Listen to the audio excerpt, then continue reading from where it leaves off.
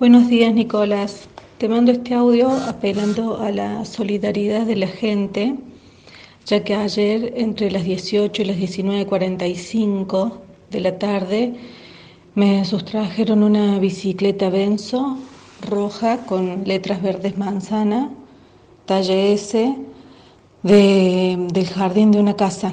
Eh, tenía rejas y estaba al lado de la ventana y en en algún momento de distracción la entraron y se la llevaron.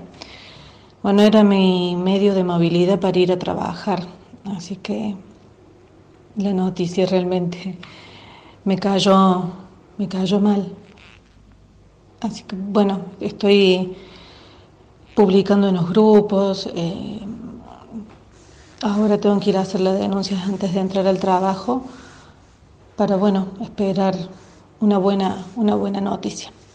Agradecería que lo, que lo difundan.